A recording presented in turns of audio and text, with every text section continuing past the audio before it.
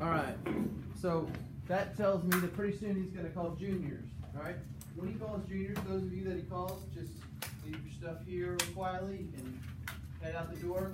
Camera's still rolling. We're still teaching, and we'll just keep on going through. You can uh, go to the Google Classroom and watch that video at any time for the parts that you missed, or maybe you'll just be smart enough to jump to the front of the line and get back here as soon as possible.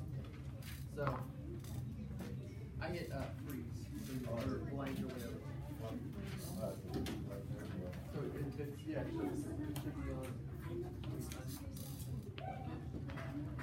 So.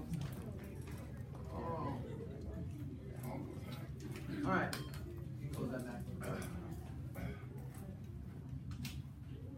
Um, so just as a reminder, some of the stuff that we talked about yesterday, we uh, we're dealing with sines and cosines, and we said that um, when you have sine of theta, and then you get some number over here like one half.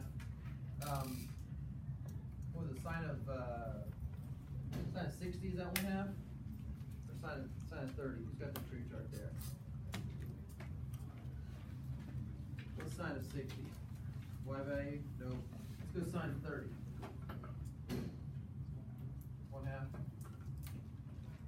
So over here, your input is an angle, and your output is a ratio. And then we discussed that the inverse, so therefore it seems to us that maybe sine of one half might be 30 degrees, okay? So uh, the inverse sine, your input is a ratio, and your output is going to be an angle. Is that kind of sounding familiar? Um, I want to talk about this in terms of functions, okay? Specifically, not just inputs and outputs, but domains and ranges, okay? So if we think of this as the function sine of theta equals some some number, some ratio. The domain, if you remember, is what are the types of things that you are allowed to put as your input. And here we can have angles that are positive, negative. Is there any real limit to the to the, the, the, the angle that we could put put in here? I mean, we are trying some yesterday. We are doing like sine of 200, sine of 500, sine. Remember, we we're putting all sorts of numbers. So in reality, our our input, our domain, um, is pretty much negative infinity all the way up to positive infinity. However, we found that the type of answers that we get for our range are limited. Okay? Say it again.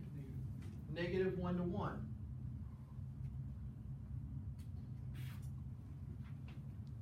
Uh, you do the sine of any angle, and you're not going to, and it's it's the maximum you're going to get for the sine is one. The minimum you're going to get, or the, the most negative, if you to think about that, is going to be negative one. Okay? And the same thing for cosine. Tangent's a little bit different. We'll talk about tangent eventually. So I say that because if you remember when you deal with functions and then inverse functions, where everything switches around, it's the, the output is the input and the input is the output. Okay? When you deal with the inverse function. In other words, the regular function is a mapping from here to here. The inverse function is sort of going back the other way. So when we talk about inverse sine, what's the domain? What are the allowable values that I, that I can put in here? Can I put in negative 5? Why not? The that's correct. The domain on your inverse sine, inverse cosine is only negative 1 to 1. I'm only allowed to put in values from negative 1 to 1 inclusive. So I'm, I'm including those, those two values.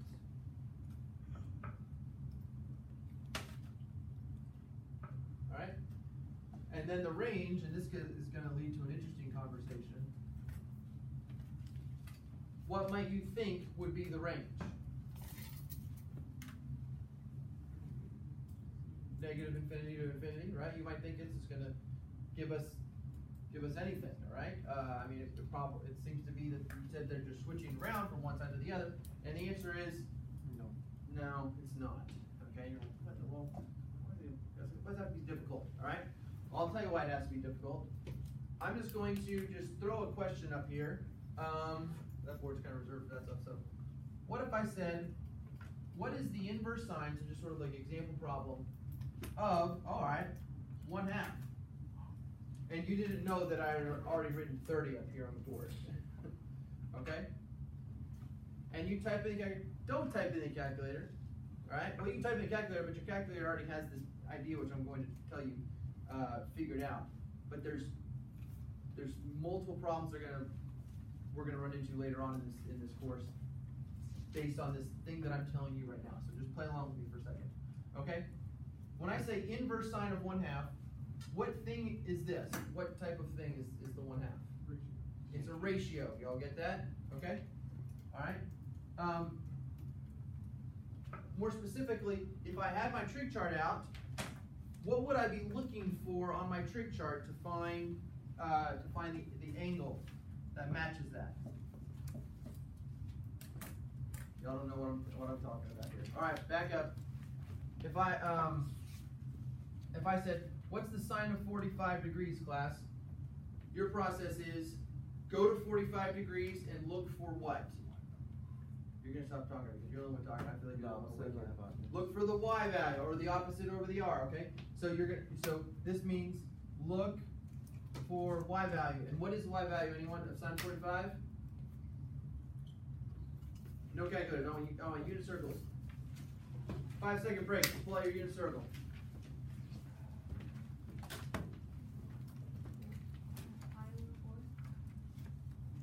That's uh, that's 45 degrees in radians. I want to know what the sine of 45 is.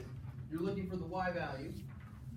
So on that same uh, that angle which you're looking at, what's the y value?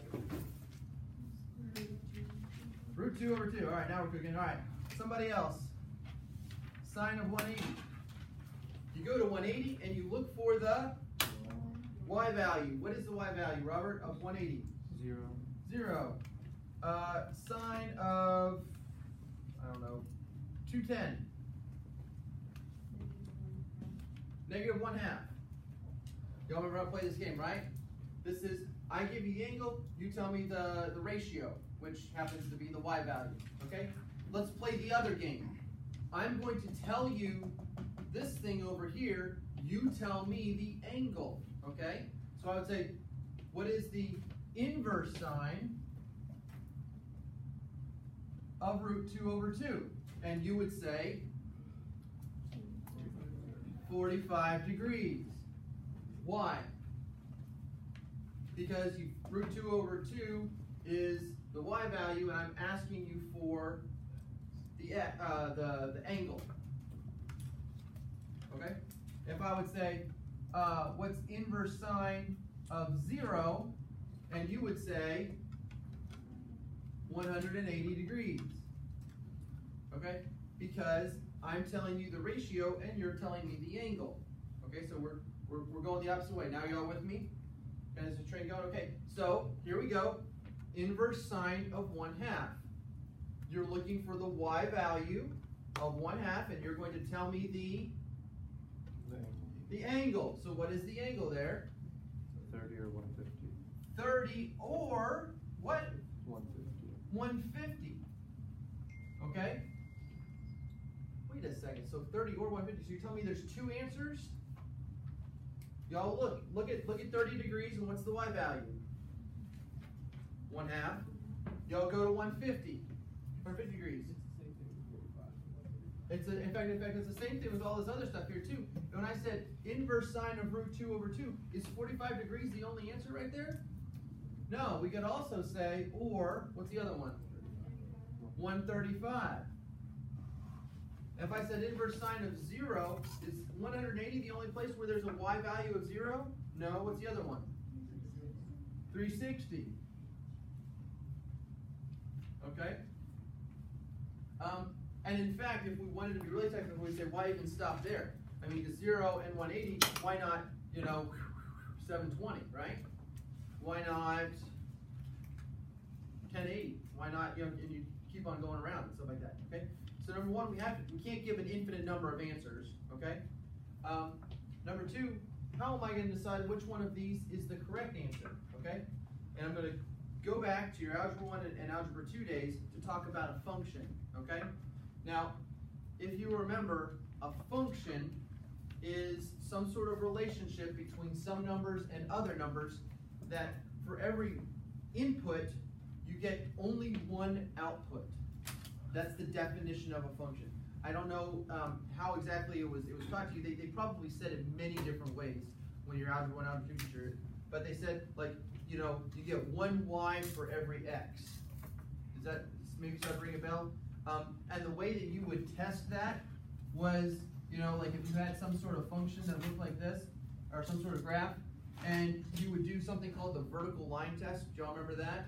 A, where you would pass a, a vertical line through it, and you would see that you know, if your graph maybe kind of did something like weird like that, I don't know, then you would say, aha, this does not pass the vertical line test. Okay, that's an interesting green. Buckets.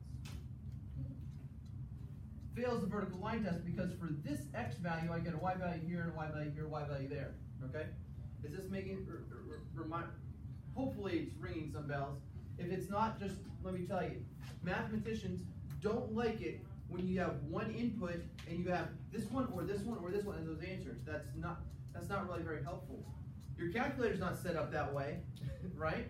Some of y'all were keen in already, inverse sine of one half, and your calculator is only gonna spit out one answer. It's not gonna say 30 or 150, there, it's gonna make a decision. Mathematicians had to make a decision when they said, when we're going to talk about inverse sine, we are only going to make it so that there's one answer.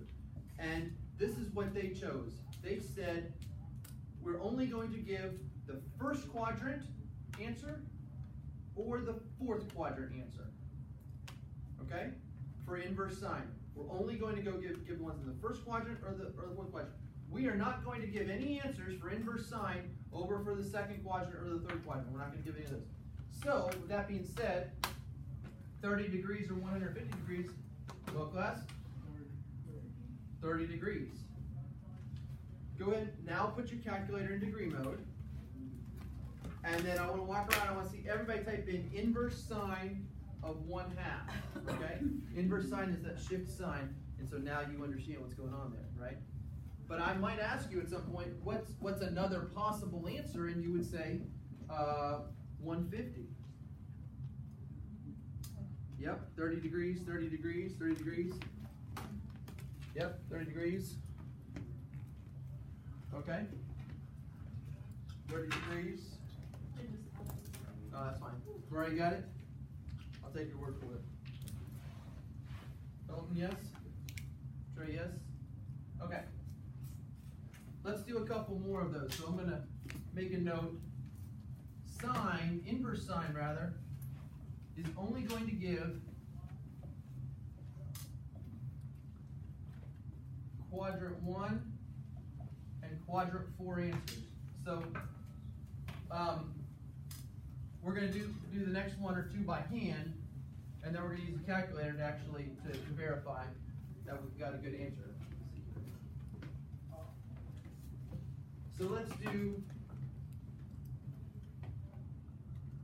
inverse sine of, oh, I don't know. Let's go negative one half.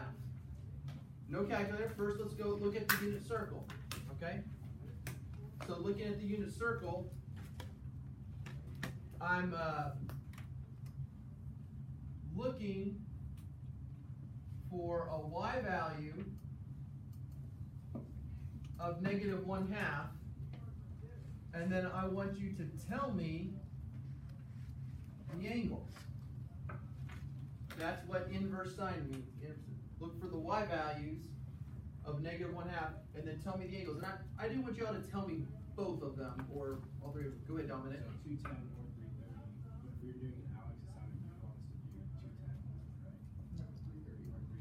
It depends on where we are. Okay, hold on. So 210. Are you all in agreement? 210 or 330? Yeah, I agree with that. Now, since inverse sine is only quadrant one and quadrant four, this one over here is in quadrant four. Okay. So this would be the correct answer. Okay? Now, is everybody is everybody comfortable with that? Because I'm gonna throw you for another loop. This is why pre-calculus is a little bit hard because there's just a lot of kind of rules and stuff like this. Let's type it into the calculator and let's Negative type in inverse sine of negative one half.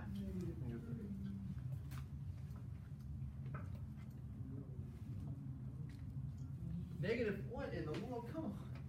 Can't we get a break here? Now let's talk about it. Where is negative 30, class? Yeah, that's fourth quadrant. In fact, known by another name, if positive rotation, it is 330 degrees. Yeah. Okay. So 330 is negative 30 degrees. Um, what is ALEKS going to want for their official answer? They're going to want negative 30. But hey, that's okay because that's what the calculator's given us. Okay? In fact, I'm going to be a little bit more specific. Um, in, fact, mathematicians, they don't just say, I want the quadrant 1 or the quadrant 4 answer. This is what they say. They say that the range on inverse sine is from negative 90 degrees to positive 90 degrees. That's what they say. Because that actually is a much easier way of talking about this region and this region. Otherwise, you have to say the range is from 0 to 90 as well as from 270 to 360. Yeah, that's kind of a mess. It's actually easier to say from negative 90 up to positive 90. Does that make sense? Otherwise, you'd have a you'd have a piecemeal. You'd, otherwise, you'd be saying 0 to 90 along with so union 270 to 360. Who wants to mess with that? They don't want. Does that make sense? They don't want to have different pieces. So they, they say the range of inverse sine is negative. In fact, if they're at the point where they're talking about the range of the inverse um, trig functions, they're actually going to say negative pi over 2 to positive pi over 2, but that's, who really cares on that? Um, so you might now ask, okay, Mr. Goddard, is there a same kind of a deal with the inverse cosine? And I'll say yes. All right, let's play the inverse cosine game. I say inverse cosine. Well, I like this one half business because it's kind of makes sense. So when I say inverse cosine, you are looking for not the y value of one half, you're looking for the x value of one half, and you're going to tell me the angle. So, normal way, sine, cosine, tangents, I tell you the angle, you tell me the x or y value or the x over y or y over x. With inverse sine, inverse cosine, the game is I tell you the x or y value, you tell me the angle. Okay, does that kind of make sense? Alright, if, if you can just kind of figure out which game we're playing, the forward game or the backward game, then we're good to go. So this is the backward game, looking for an x value. Dominic, looks like you've got something there in your mind. Where do we have x values of one half? Um, sixty. 60 degrees and 300 degrees. So, would it be for co- cosines in quadrant two and three? Close. It's actually in 1 and 2. Inverse cosine, we're looking for answers in quadrant 1 and quadrant 2. So it's just going to be our 60 degrees.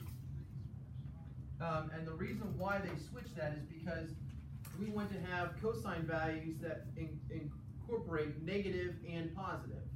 So the positive values of cosine are going to be where x is always positive, which is over here, and the negative cosine, the difference is going to be over here. If limited, this you all don't need to totally get this, but if you can track along, it's fine. If we did inverse cosine of quadrant four and quadrant one, we would never be allowed any negative x values. So that's why they, they had it up there. So cosine, we're looking for quadrant one and quadrant two. This is actually my favorite. I love inverse cosine because uh, it's literally, the range is from zero to 180 or zero to pi. And let's go ahead and type that in. Type in your calculator, inverse cosine of one half.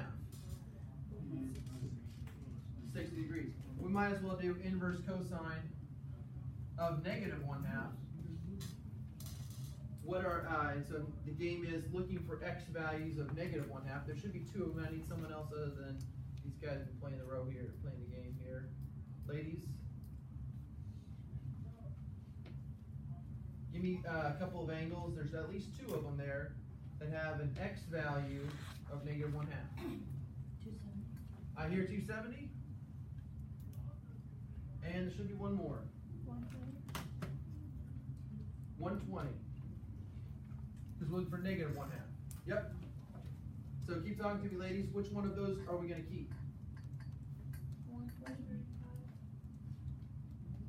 135? No, I don't. Or, I don't know else said that. Anyway, sorry. 120. That's what we're keeping. Because 120 is the quadrant 2 answer. It's the one between 0 and 180 degrees. Inverse tangent is just like inverse sine. It's going to go quadrant 1, quadrant 4. Uh, so negative 90 to positive 90, yada, yada, yada. I just want to get some homework problems. I don't know about y'all. I saw this. It's getting a little bit crazy here. Let's do some homework problems. Dalton, you can pass this around.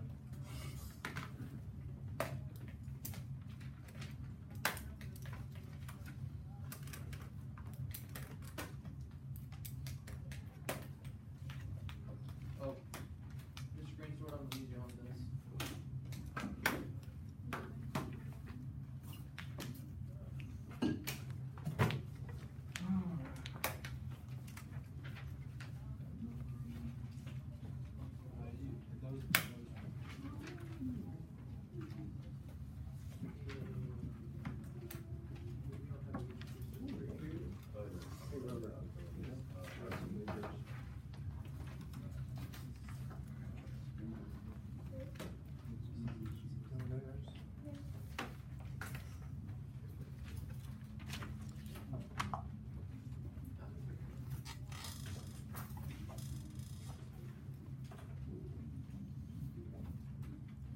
Alright.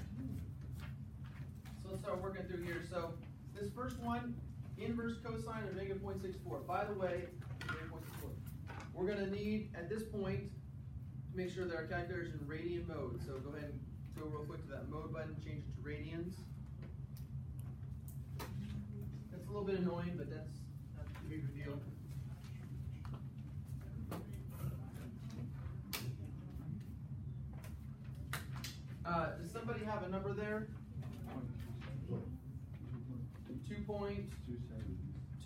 37. That's literally all you have to do is you have to use your calculator. this one, inverse tangent, 0.93. Key it in, what do you get? 0.75. Now this is going to be a great one. Inverse sine of negative 2.41. Error.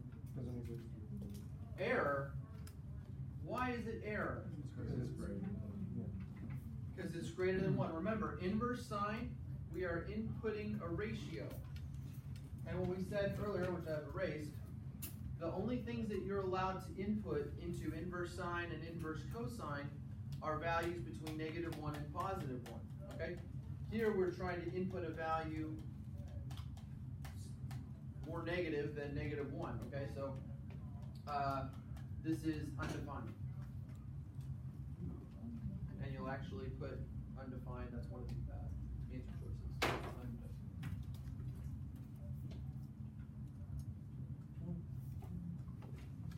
Alright, I'm pretty sure you can handle the other ones, that are similar to that, let's move on down to the next set.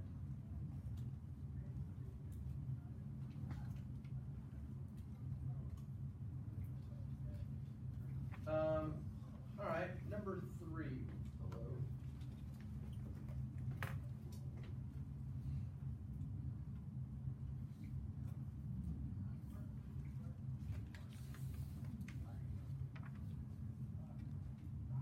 What in the world? Find find the exact value of the tangent of the tangent of five pi over six, okay? So, let's play the game, class, here. This one right here, five pi over six, that's the angle.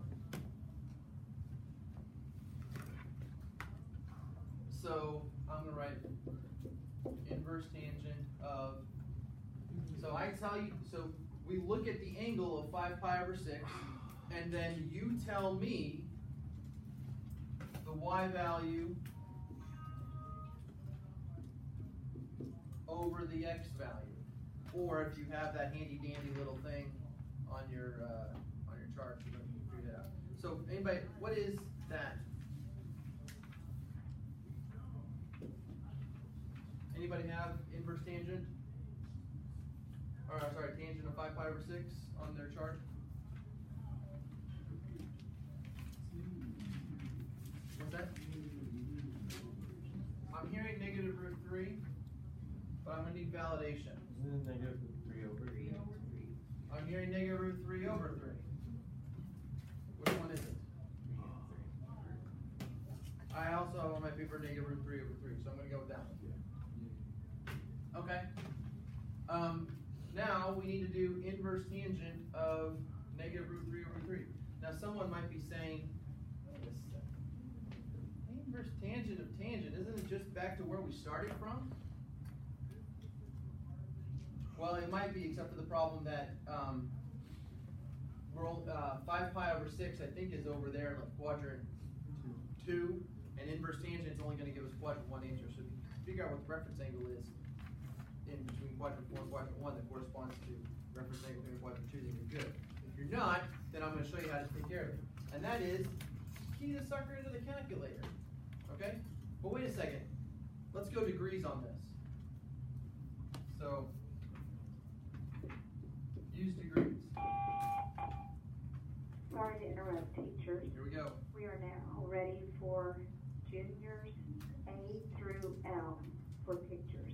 Alright, Juniors silently you can go, uh, the rest of you can speak up here. So let's put our calculator in degree mode, let's go inverse tangent of uh, root three over three, and what do you get?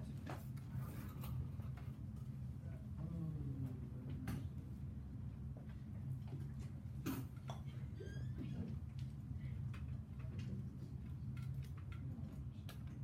gonna walk around, I wanna see that answer, I wanna see inverse tangent of uh, negative root three over three, since y'all are silent now. Wait, negative root three over? 3? Yeah, negative root three over three. Oops. Alright, she's got negative thirty.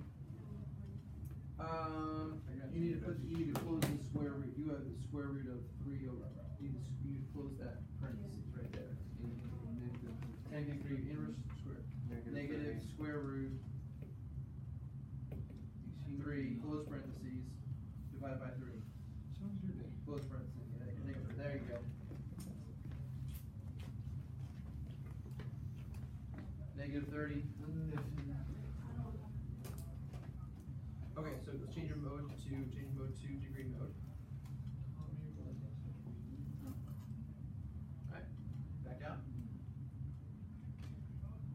Just, uh, put- so inverse tangent,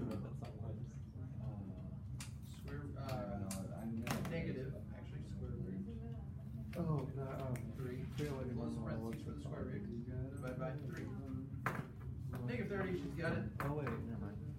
Ferrari, you need to Yeah, leave it open, the parentheses it right. Here. print anything else. Because you're doing square root and then open parentheses three over three. So type that the whole thing in. Inverse tangent. Negative square root three, close parentheses, divided by three, close. parentheses. There you go, negative thirty.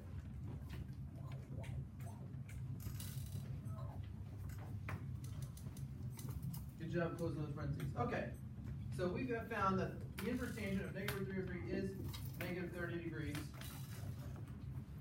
Um, we know that that is right here, right, on our unit circle. Um, let's convert that, we've got our unit circle, what is that in radians? Because they want our exact answer in terms of pi. So, you could go through and do multiply by one eighty, blah, blah, blah, blah, but why bother? We've got, where, uh, where is that, Nayeli, on the unit circle? it's three thirty, right?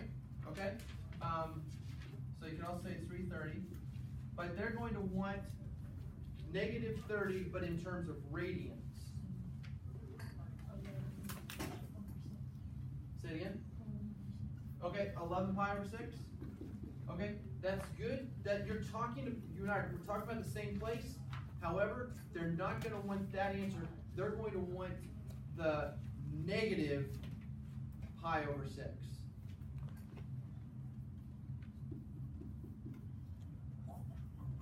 I'll see if that makes sense, does that make sense? They want, cause technically, negative thirty, um, it's talking about the same angle as three thirty, it's talking about the same angle as eleven pi over six radians, but negative thirty, literally, if you, if you convert it, if you think about what is the radians, it's negative pi over six, does that make sense?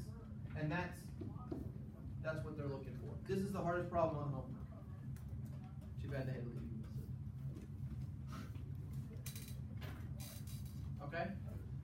We're gonna keep working, we've got another fifteen minutes, we're gonna keep doing all these problems, let's go. Uh, question four, find the exact value of inverse sine of the sine of two pi over three. So, uh, sine of two pi over three, we'll play the game. This is, I'm giving you the angle, so this is the angle. You tell me, uh, help me out class, if, if there, if I say sine of something, sine of the angle, then you're going to go to the unit circle, find that angle, and you're gonna tell me the, Uh, the y value. Tell me the y value. That's this inside game right here. So the outside is the inverse sine. So square root of three over two. Marari, does that make sense to you? Does that, does that match what you found on the unit circle? When you find two pi over three, do you have your unit circle out there? Mm-hmm. I see it. What's the y value there on two pi over three? I'm trying to find two, oh, okay. Is it root three over two? She says it is. Okay. Now, there's, if y'all, once again, you might say inverse sine of the sine, isn't it the same thing, right? Can we, isn't the answer two by root two? The answer is no, because inverse sine is only going to spit out first quadrant or fourth quadrant answer. So, as much as I would love to tell you just write two pi over three because it's plus two minus two fill the hole, in reality, we have to play the game and adjust it to the representative coordinate. If you don't understand what I'm saying with all that, that's fine. All we have to do now is make sure our calculator is in degree mode, and we're gonna type in inverse sine of root three over two. And make sure you've got that parentheses, you know, you've got the, the square root, just like we had last time. Um, this is jumping back to the last question. Sure. I'm gonna you. Yeah, no, I wanted to hear. So, there we have tan negative root three over three. Uh-huh. When you go to, on the unit circle for five, five, or six, it's negative root three over two. Is there a reason why it is, or? That was, that's probably a miss, a typo, uh. That's, okay, um, tangent is not going to be one of those listed. That would, that's the x coordinate and the y coordinate, which correspond to the cosine and the sine. Okay, so But- I, I kinda figured out, like, just canceled out, right? Then how do you find that? Um, How would I- How would I get to negative root three over two? How would you figure out that? Um, you would do y over the x, so it was, the y value was root three over two, and the x Okay, that's, value. that's kinda what I figured. Yeah, so it's root three over two times two over one. I, I think we, I think we mixed, mixed it up here. I think My value is one. five pi over six. One, one over. Where's five pi over six? Okay, so it's y value over the x value, so the y value is one half. The x value is root three over two. Okay. Um, and so that would be one half times two over root three, so that's one over root three, which would end up being root three over three. Okay, um, some of the students on the last time wrote on their, their unit circle in their notes, they wrote all the tangent values out to the side on those, and that's what they were looking at. Okay, I, I. So that might be, that might be a good thing to transpose onto your unit circle. Does that make sense? That's what I figured, I just. Yeah, okay, that's great. So, uh, class, Taylor, when you plug in inverse sine of root three over two, what did you get? Anybody else get sixty? Okay. Sixty degrees is the correct answer. That was the, I give you the ratio, you tell me the angle. Alright, now we need to convert that to radians. Pi over three. It's real nice because it's right there on the, it's right there on the unit circle, right? Done. Believe it or not, these problems are easier.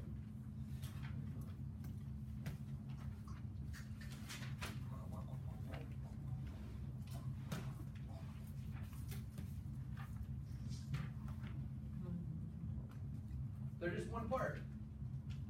Find the exact value of the inverse sine of negative root three over two. So, let's, uh, even though I know they want our answers in radians, we're gonna, we're gonna trick it. We're gonna, just like we have been doing all along. We're gonna make sure our calculator's in degree mode, so that we get the nice degree, and then we'll have it, use our unit circle to convert it back to radians. So we're literally gonna type in the calculator, inverse sine, and then negative square root of three. Remember to put that closed parentheses there, and then divided by two, and then close the parentheses again.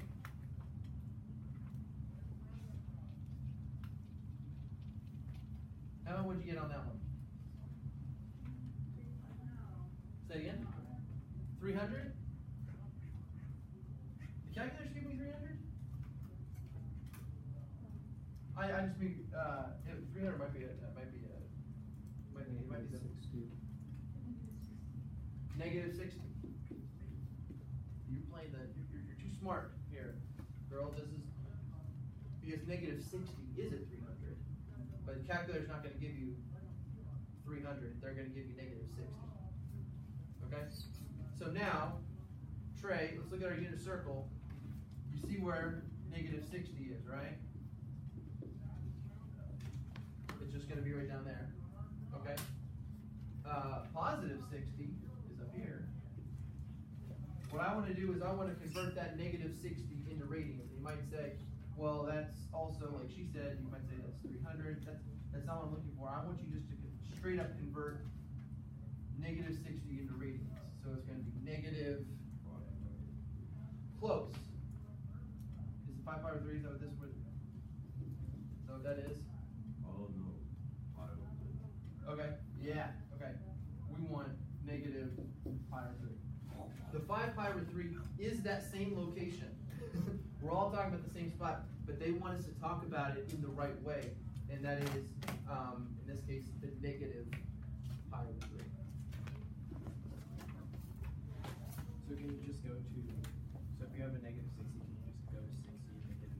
That's absolutely correct, yes. You, you can look at sixty and say sixty is pi over three radians. And here I'm at negative sixty, so that must be negative pi over three radians, which that's what you did get the second answer, so, yep. For all of these, we're never gonna use quadrant three, right, for the answers? That's right. Good analysis. Okay. Um, let's keep going. Inverse tangent of negative root three over three. I feel like we've done that one before. That's okay. We'll just key that into the calculator. Inverse tangent. Negative square root, it's gonna give us the parentheses, and then we'll put three, we'll put a closed parentheses, then we'll put a divide by, then three. And we're in degree mode. Somebody tell me, anybody, what does the calculator spit out for that? Negative thirty? Okay. Now let's think about where is negative thirty? Right there. Well, positive thirty, Dominic, is how many radians? Five or six. So negative thirty must be negative five or six.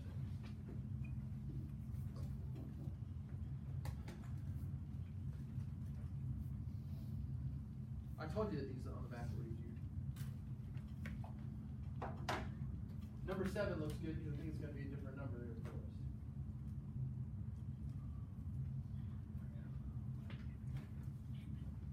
Inverse tangent of negative root three. Remember, we're in degree mode to be able to get our, our answer. Negative sixty. Negative negative sixty degrees, uh, I need someone else to verify that, so what y'all get? Okay, so someone else, what would negative sixty be in radians? Negative pi over three.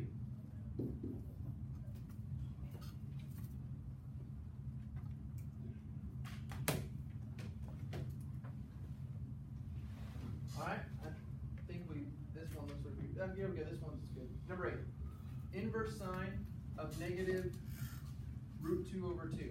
That looks like it's one of those forty-five degrees, okay? You might even be able to do this one in your head, if you think about it. Right, Preston? Root two over two, you know that's gonna be a forty-five degree reference angle, right? And it's negative, which one's gonna have a, which quadrant's gonna have a negative sign? Quadrant one or quadrant four? Quadrant. Quadrant what? One, or sorry, four. Quadrant four, right? So then you just think about what's the, what's the, what's the angle down in quadrant four? And you might say, well, I think it's, uh, like, what is it, three, three fifteen, but what's that? But we want the negative one, so it's gonna be, negative something, something, think about that. Did y'all get negative forty-five degrees for that? Yeah. And so how would we refer to that in radians? Negative five. Negative pi over four. Um, are we feeling a little bit better about this? It, I mean, it's literally just key it into the calculator, but then it's your pre-calculus knowledge as a student, as a, as a pre-cal student, that knows, okay, I know negative forty-five degrees, when you circle it's gonna be negative pi over four. Combined with that handy dandy unit circle. I would definitely recommend on this printed out one that I gave y'all, you go ahead, go around the, go around the circle and write down those tangent values, just because it can be really helpful to identify those. Um, do we need to look at it, this one, number ten is exactly the same as number eight, I think, right? And number nine, isn't that exactly the same? Number six. That's what I'm. So we've done all of them. Sorry, doll. Okay? Uh, I need two people to tell me a process or something that we talked about today. Using pre-calculus vocabulary. Inverse sine. So as, now, whole sentence. We talked about inverse sine. We talked about inverse sine, oh my gosh. Somebody else wanna go, go give it a shot? Inverse trig. That's a phrase, not a sentence. Find the angles of the inverse of the trig. No, hold on, Dolan, we'll give it a shot. Go ahead and say, it from the beginning, go ahead. We use inverse sine to find the ratios and or the angles with using the formula. Uh, we use the ALEKS calculator. There you go. No, we didn't Alright, here's what I learned. Alright, you you've got one minute. I want everybody, I'm gonna walk around and I want you to write down one sentence on your paper of something that we talked about today. Wait on which paper? What you mean? Just, I it can be on that piece of paper, right there. Today I learned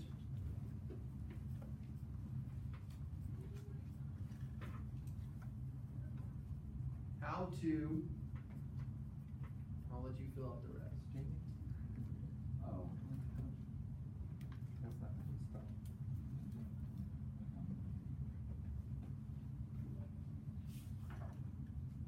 I'm gonna put this, we'll go put that over there.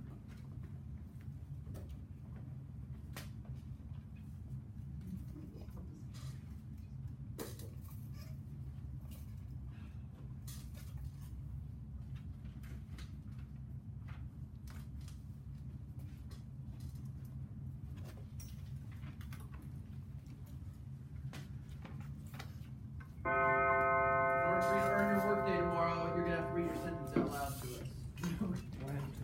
Oh, no. Alright, um, also remember organized binder, you can read tomorrow.